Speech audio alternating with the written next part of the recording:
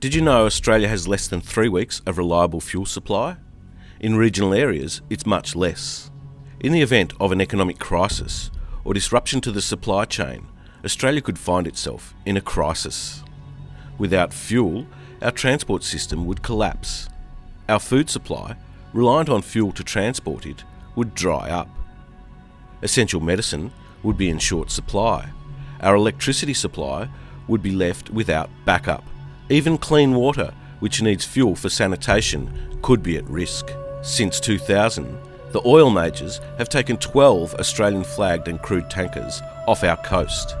That means that Australia is reliant on foreign owned ships for 90% of our supply. In the event of a conflict in the South China Sea or an economic crisis, these ships can simply be redirected by the countries that own them. It leaves us extremely vulnerable. Australia could be completely without oil and liquid fuel in a matter of days. Australia's fuel security is running on empty.